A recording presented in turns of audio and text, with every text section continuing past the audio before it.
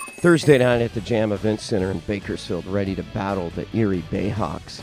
In the first, Kyle Spain brings down the rain and Keith McLeod chips in two as Erie jumps out to a 12 0 lead. David Palmer then takes that no look feed from Derek Byers and throws it down, but the Bayhawks take a nine point lead to the second. To the second, and both teams display some defense. First, McLeod commits the theft, plays give and go with Kyle Goldcamp, then provides a behind the back dime to Goldcamp, who thunders it down to increase the Erie lead. Then Juan Pattillo rises and packs Marvin Phillips on the other end. And Jeremy Wise provides the alley for Pattillo's emphatic oop to cut the halftime deficit to three at 59 56. We move to half number two with the Bayhawks increasing their edge on the McLeod miss and Terrell Baines two handed earthshaker. But Mustafa Farrakhan locates Pattillo, who drives to the tin and emphatically powers it down.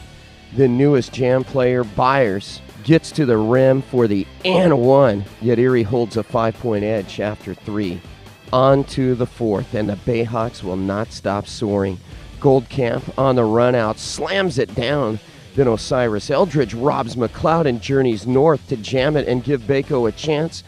But Erie says no on the Spain three point drain, one of six on the night and a double double as the Bayhawks win at 116 105.